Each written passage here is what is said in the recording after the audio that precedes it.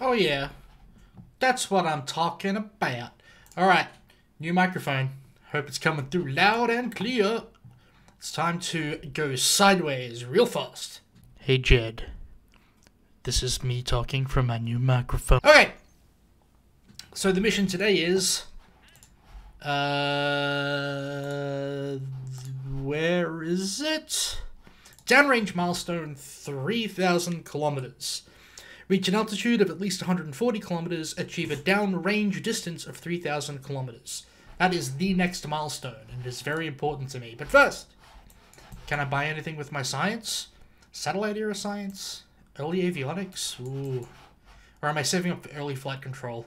I think I'm saving up for early flight control. Okay. Next, I need to know what tech I need to go sideways really fast. I'm thinking at least early rocketry or basic rocketry. Let's look at what early rocketry gives us. XLR-43, not very exciting. The AJ-1027 upgrade, hmm, pretty good. Um, the RD-102, that's pretty good. Yeah, okay, so I think we'll fast forward until basic rocketry is finished. And with 300,000 Kerbal dollars in the bank, I think I'll buy some R&D upgrades. One, two, three, four, five. One, two, three, four, five. Now R&D is very quick indeed. So let's fast forward to early rocketry. And early rocketry is done. Cool. Let's go build ourselves a rocket of some description. Do tell me in the comments if uh, this sounds better or if you want me to go back to the old potato microphone. Okay, now let's see. Um, what are we going to? Yeah, we get an Aerobee. We will put a separate structure tank on the top, I guess. Um, make it skinny. Oh, make it a cone. Make it skinny. Get a tank on the bottom. Make it skinny put, uh, oh, uh, make sure that it is high pressure. Good. Put the Aerobee on it. Make sure that it's an AJ10, an AJ1027. Good. And then fill these up with the fuel I need. And the burn time is 52 seconds. So we can lengthen this to the 52 second mark and not a scotch more. 52 precisely. And then, do we need a spin motor on that? Nah. Put a spin motor on the next bit though. Because we're going to get a... Uh, where is it? Uh, coupling. Here we go. Just procedural decoupler. De-diameterize that. And then literally get this and slap it there. Um, and then make sure that that one is 52 seconds.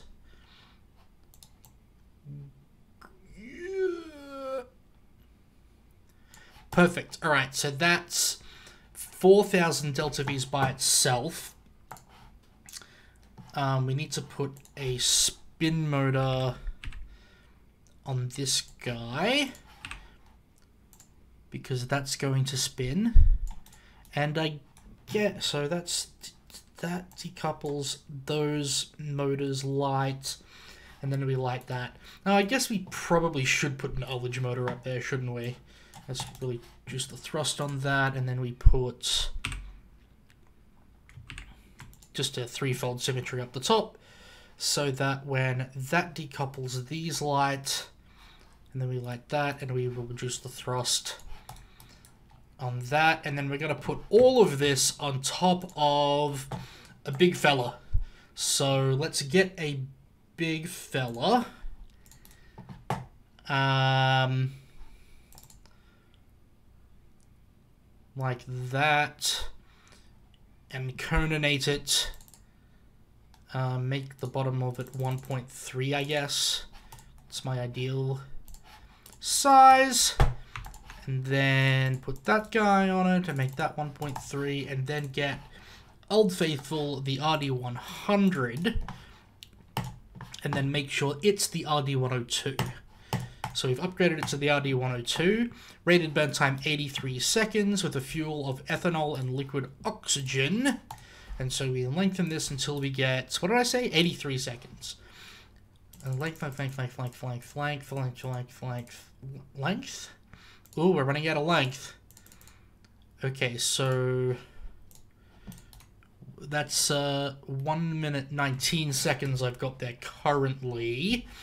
We also need wings and avionics. Uh, mmm, avionics. So we're not going to get the full burn time out of this, but the avionics... Okay, so it's a 20-ton rocket. That's fine. Um, so we will put on a one meter early avionics package because it's lighter. Um, we are we are a hundred mil. We are a hundred mil taller than we than we're allowed to be. That's incredible. Okay. Um, let's put the put the stabilizers on there. Um, all right, now now we're too heavy. Um, so we need to de-lengthen this anyway. Uh, an extra little bit of length on it. How much am I allowed to get away with? About that much. And then put wings on it. And we're too heavy again. Oh, God. Okay. Less length. Less length. There we go. Right, so we got 6,900 delta V's. Check our staging. Okay, we got we got light, we got break, we got fly, we got brake, ullage, spin, light, fly, brake, ullage. Should I add a little extra spin? You know what? I'm gonna do it. I'm gonna do it. It's fine. Make sure it spins the same way. Good. And so, so break, light, fly, and then hopefully we get 3,000 downrange. Um, cool. And we will call this sideways. Lol. Save. I already have a ship called Sideways? Well, it didn't work, so I'm overriding it. Sim. Um, start simulation. Let's make sure it works before we blow all our money, like, building it. Okie dokie, here we are on the launch pad. Should really put pretty colors on it. Ignition. Full power. Lift off. Gravity turn. Gravity turn. Gravity turn. Gravity turn. We gotta get over. We gotta get all the way over. Downrange means going sideways really quick. Come on. Turn.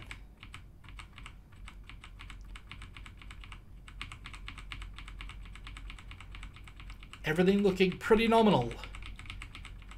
Everything looking pretty good. Turn faster though. Turn!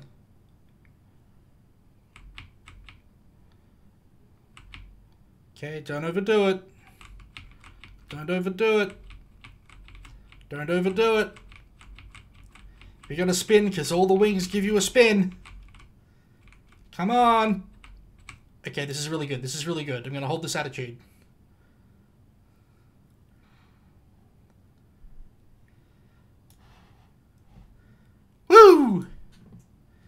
And MECO, Ignite.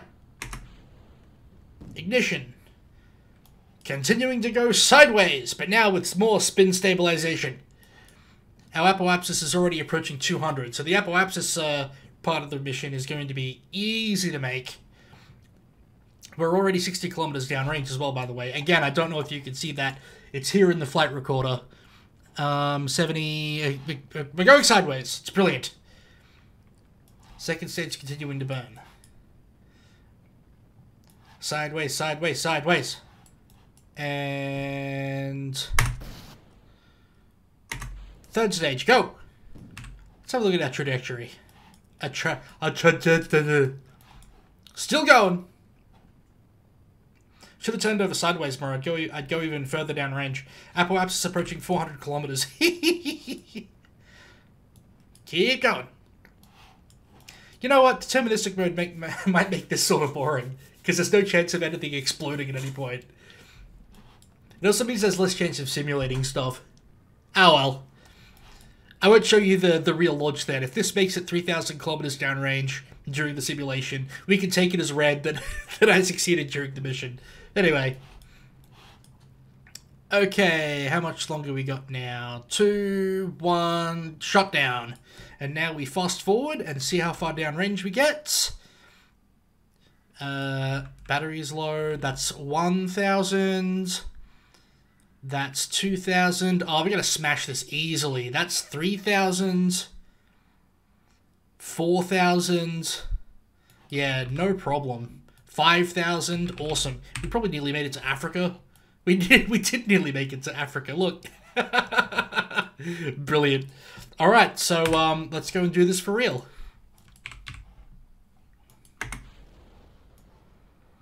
Okay, for the real mission, I gave it a code of pen. Here we go! Two, one, MECO.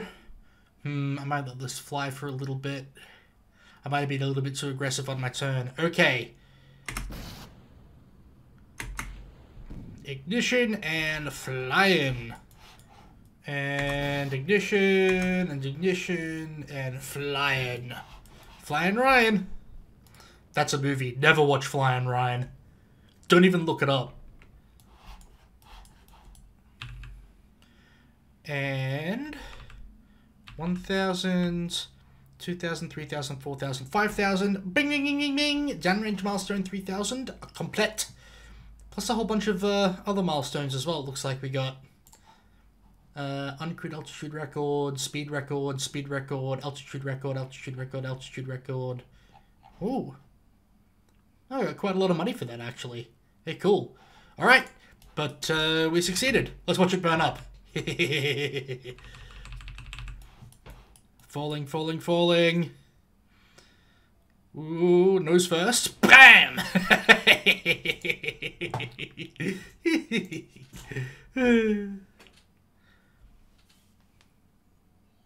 Life's all about the little things, you know. Okay, so I guess the next thing to do is to do first artificial satellite.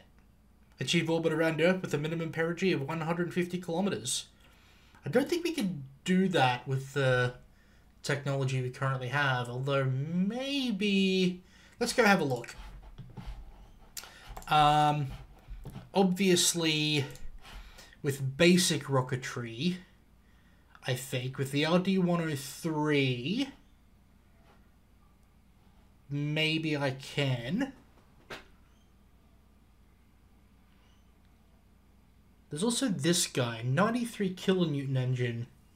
Maybe he's good as an upper stage engine. Hmm.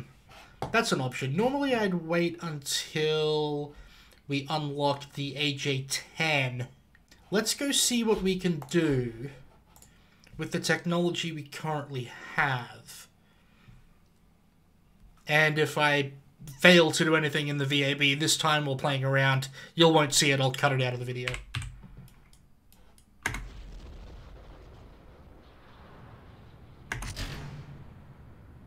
Ah! You didn't see that. Okay, so here's the rocket I've strapped together for this orbital attempt. Uh, at the bottom, we've got uh, uh, uh main core RD103 with two RD103 strap-on boosters to get me off the pad quickly. Up top, we've got, uh, what is this guy again? The S2253 engine. This is the uh, Russian, um, what, should, what should we call it? ballistic missile engine. a very early ballistic missile engine. And then on top of that, we've got the AJ-1027 uh, the uh, uh, AJ1027 upper stage with a with the spin motors attached, and uh, this should be enough to reach orbit if my simulations are correct. Throttle up, SAS on, ignition, full power, and lift off. And because we got a lot of power at the start, we are starting the gravity turn immediately on the way to space. Um, obviously, in case you didn't know, obviously, in case you didn't know, um, much of the uh, reason that uh, both the USA and Russia were interested in space exploration or rocketry specifically anyway, was because they wanted uh, ways of um, uh, sending nuclear warheads to each other without endangering pilots. So obviously, the ballistic missile program of uh, both nations was was a was a was a huge um, uh, funding source for rocket scientists. Booster set, will they explode? Boom! Aerodynamic forces destroyed by boosters, as usual. I love it. But we are continuing on our way to space with our core RD-103 stage. The apoapsis is still increasing. Um, let's bring up the... This is probably easier to read where my apoapsis and periapsis are. So my periapsis needs to be above 150 kilometers uh, to actually pass the contract, which I will bring up here. First artificial satellite. Um, periapsis above 150 kilometers and stable orbit for two minutes. I think you've seen me do something very similar to this before, actually. Um, as long as the time to apoapsis uh, is increasing, which is up here and barely readable, um, then you're in good shape, and you can continue to um, increase your gravity turn sideways. Obviously, um, because getting into orbit requires you go sideways really, really fast, every little extra piece of delta V you can put into going sideways instead of up um, is, is, is way better. Because if you're wasting... Uh, if you're wasting delta V going up, you're just fighting gravity the whole time, and you might not reach orbit at all. Okay, we're gonna go super flat. And main engine cut off in two, one, shutdown. And we have a clean light of the ballistic missile upper stage. We're on our way to space. Let's uh, tilt up a little bit because our time to apoapsis is decreasing a little bit faster than I'd like. And uh, there's Florida, and we're over the Atlantic Ocean, and there's Cuba, and there's the, uh, I don't know what that is, Bermuda, the Bahamas. My geography is failing me. I'm a space guy, not a land guy. Get off my back. Apoapsis is increasing towards 200 kilometers. Time to apoapsis is decreasing, but nice and slowly.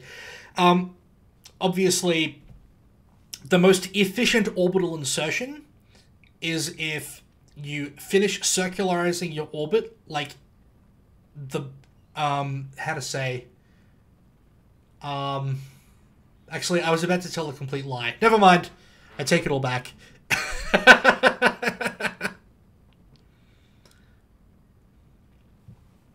what I'm really interested in now is uh, now that we're going pretty much sideways to look at my delta V and look at my current orbital velocity. So 4,500 delta V is remaining, it says here in my instruments, and our current velocity is 4,500 meters per second for a total velocity of uh, 9,000 meters per second-ish, which means we will definitely be in orbit if we finish our circularization close to our apoapsis.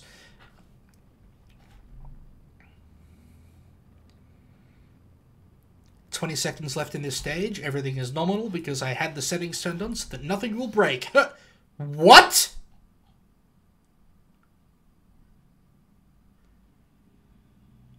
I'm actually speechless. I disabled TestFlight. I disabled it. Okay, so I hadn't... I, I misspoke. I hadn't disabled TestFlight. I set it to deterministic mode. And what that means is the maximum burn time of an engine is extremely important, and I accidentally made the second stage uh, uh, have too much fuel in it and, it, and it and it burnt for too long. So I reduced the length of it. The delta V is about the same because if you reduce weight from the upper stages, it increases the efficiency of the lower stages, so it'll balance down. So I have about the same delta V with roughly the same rocket, and here we go. SAS on, throttle up, ignition. Check our staging, everything's fine. Full power, lift off, gravity turn. And this is where uh, realism overhaul starts to get... Uh, will it pop? Boom! this is where realism overhaul starts to get pretty boring. There's only so many 10 minute rides to space you can see before, you know, it gets a little bit tiring. Still, I enjoy doing it. Obviously, through the power of editing, I can uh, reduce some of the tedium for you. And clean light. All right. Double check my burn time here. Yeah, it was 1 minute 35 seconds. what what a stupid mistake to make. Like, I knew about that, didn't I? I'm such a dummy. Oh well. We should have it sorted out in the end. We haven't failed the contract yet. We've got maybe like 300 days left, I think. I do have to spend a lot of money rushing through the construction of the new rocket, though.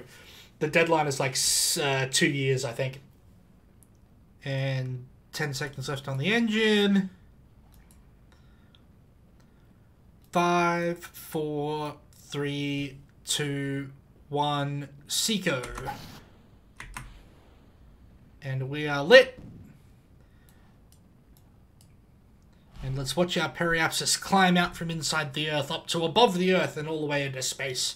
And then we will be in a proper orbit.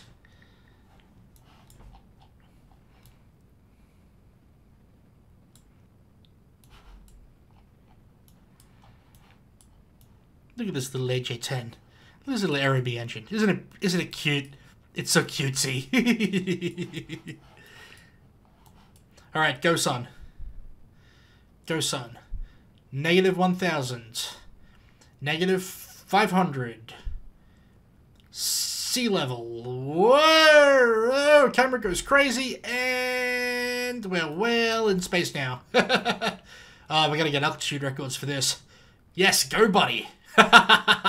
Periapsis 166 kilometers, Apoapsis 5,824 kilometers. That's perfect. Now we just got to wait for the contract to detect that we've been in orbit for two minutes, and done. First artificial satellite, nailed it. Let's go for a little trip around the planet, shall we? Uh, oh wait, we, you've already seen this. And of course, we're going to run out of power really quickly as well because, uh, yeah, we've already run out of power because I didn't put any batteries on this. That wasn't the point. The point was just to make a satellite that goes into orbit. Boom. Nailed it. Alright, might as well stop the video here, I think. I don't know how long it's going to be after I edit it down. But uh, I just needed to play with the new microphone. So uh, thanks for watching, and I'll see you later.